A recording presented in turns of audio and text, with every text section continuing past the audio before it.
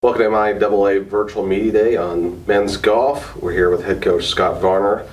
Um, coach, you know, talk about a little bit about last year. You uh, made it to regionals. Um, obviously, that's a goal in mind you have for the whole year, but um, it's been a work in progress from the year prior where you guys did not make the regionals, but making that step forward last year. Absolutely. Uh, last year, the goal, obviously, every year for us, and, and I never apologize for this, is that we play for a national championship. And, you know, in my first 12, 14 years, we were consistently in that top 10, top 20.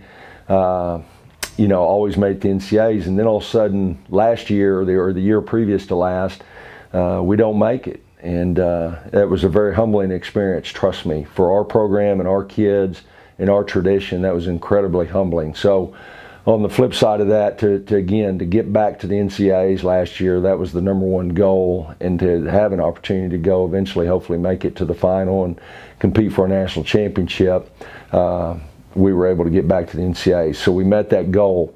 Uh, clearly, we want to get back to the point though that where we've been uh, previously and where our tradition has been. You know, you uh, you got it done last year with a couple freshmen basically in your lineup for the whole year, but you returned them with one year experience, Naveed and Ty. Uh, talk about having them um, continue to grow as um, golfers for your program. Absolutely. You know, obviously we lost Tate Williamson, who's a multi all region performer, had an outside chance to be an All American and an All Conference player multiple times. He was clearly our leader over the last couple years. Uh, but besides that, uh, Ty and Naveed as freshmen were, were, our next two best players, no question, by the end of the year. At the, and of course, Naveed led us at the NCAA tournament, so the momentum of that we really want to carry over into this year. Uh, we definitely signed a great class of, of, newbies and a pretty big class, and we're excited about them.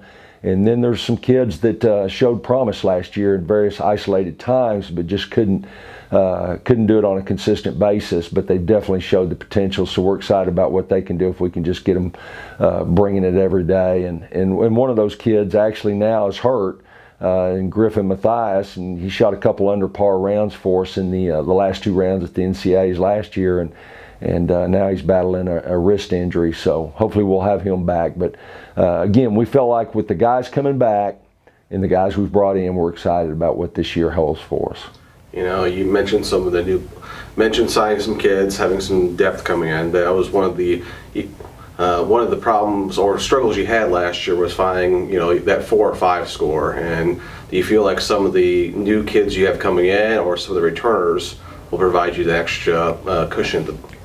That is absolutely the expectation. And when I bring those kids in, again, that was the expectation. All those top 10 teams we had back in uh, the majority of my tenure here, uh, we bring them in expecting uh, everybody to be the number one bag and everyone to come in and compete to be an All-American and help us go to the NCAAs, win conference championships. We brought those kind of kids in. We feel pretty strongly we've brought in four kids in like that that could do that. Uh, so again, you know, we're excited about what the potential holds.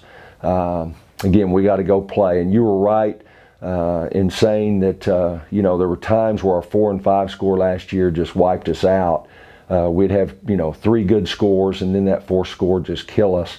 Uh, and again, that was it's a team effort, and we've got to get beyond that and get back to, to playing to where our five guy can be as good as our one guy on any given day, and that's the way we've always uh, we've always viewed it, and we got to get back to that. You know, obviously looking into a whole new year. Um, you know, just your real expectations for the year. Obviously, every year you, you're going out to win for national championship. So just um, just talk about some of the ideas you have for this year and for this year's squad. Well, you know, we're just cranked up. We had our first morning workout this morning. Great attitudes, great morning run, best times we've had in years here. Uh, a lot of that's just through sheer effort. I think we got some really high character kids that, that are going to be unafraid to work hard. They're going to want to work hard, want to be pushed. Um, and so the expectations is with those new kids timed in with our old kids, uh, again, we want to get back to the future is kind of our little catchphrase right now. It's back to where we've been, again, tradition-wise with the success we've had the majority of my time here. And, and I really expect that. I expect nothing less um, is for us that, that we're never going to lower the bar on what that expectation is here because that has been the expectation here. Our alumni even expect that from us. Uh, the kids I coached 20 years ago when I first got here, and this is my 20th year. Uh, I'm as excited about this year as I was 20 years ago. So uh, every day's a great day.